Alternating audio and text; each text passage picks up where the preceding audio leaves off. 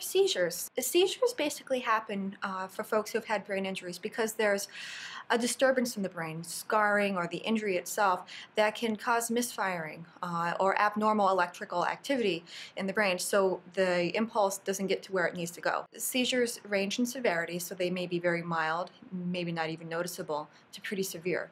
Uh, and the mild seizures may only be a change in behavior or um, you know, a blank stare, maybe smacking their lips. Um, and then the symptoms may progress to a bit more moderate or severe where they, they tend to have muscle spasms or shakiness. They may uh, get very, very stiff.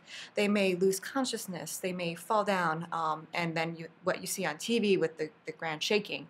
But that doesn't always happen. The worse the injury, the more likely you are to have a seizure. So it's estimated that about 65% of people who've had a, a, penetrating brain injury, such as a gunshot wound, then go on to have seizures, uh, whereas only like 20% of people who have had uh, bleeding between their brain and the skull have seizures.